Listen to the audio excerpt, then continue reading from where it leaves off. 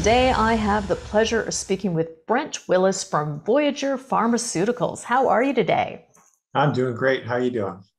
I think we should just hit the ground running here. We enjoyed you on Investor Talk today.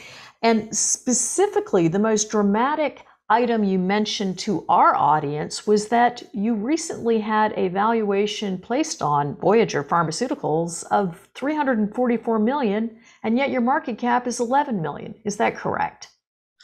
Yeah, we're uh, that's correct. We're we're just uh, marching through the markets here, and uh, you know we can't we can't worry too much about our our market cap. We just got to focus on uh, our milestones and keep hitting them. So it'll come. And- and speaking of milestones, you're in a contrast industry, barium, iodine, contrast. Is that correct? That's right. And you were talking about how this industry, similar to the critical materials, many of the critical materials we cover, which is our audience, they love this. Um, China is controlling a lot of these uh, contrast output products like iodine, and it's creating a real fury out there for hospitals not being able to access this. Is that correct?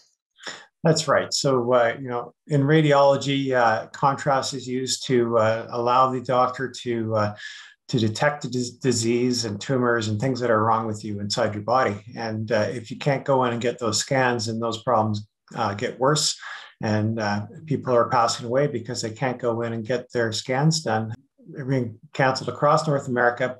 And uh, the reason for that is because uh, the majority of uh, iodinated contrast comes out of China. And uh, we have supply chain issues with uh, barium sulfate. And it's a supply chain issue, and it's very foretelling if, when we're looking at uh, our future when we cannot supply our own hospitals with needed, very much needed drugs just based on a few port closures in China. So it's, uh, it really highlights the importance of domestic supply and uh, moving forward with uh, domestic production. And of course, you know, I love, uh, just Brent as an aside, I love California investors. They go, you know, climate change matters to us. So they went in and became ESG investors, went in, bought, and held. So all of us baby boomers and older Gen Xs that are going to be lining up for these types of processes, we may want to invest in helping support you in building the supply chain. And to me, that's what that sounds credible. Yeah, absolutely.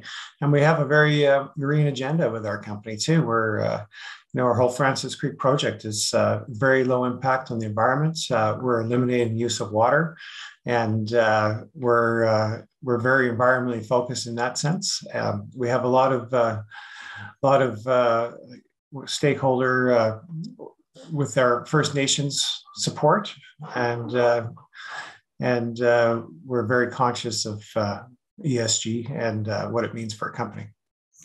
And let's just talk about barium prices. Did you just did I hear you correctly saying that barium has gone from 3800 to 17,000 dollars? Is this US, Canadian and for how much of uh, how much barium are we talking about? Yeah, we're we're we're looking at sourcing. Uh, so we're importing um, uh, USP pharmaceutical grade barium sulfate, and uh, that price has gone up to seventeen thousand dollars a ton. Uh, we're looking at ordering uh, for that. We're going to pay that for to bring it in and uh, to ensure that we have uh, our supply chain intact to move our initial sales off the ground.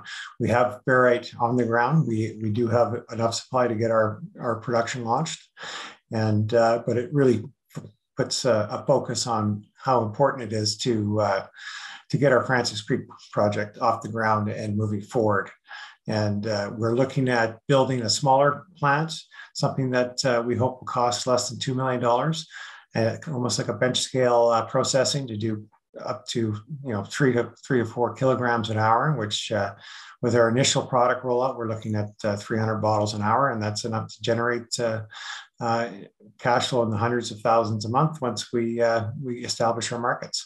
So I think that's going to be our first phase: is start small, uh, low capex, get our products to market in Canada, uh, keep working with the FDA. We're going to get into the uh, US market uh, down the road. We're not going to put any timelines on that. We've had uh, very positive meetings with the FDA, but uh, it's hard to put a timeline on. They're working through regulatory pathways for us to try to figure out uh, how they're going to regulate this this product that used to be a drug that was recently uh, ruled on to be a device. So there's uh, some issues there that the FDA still needs to work through.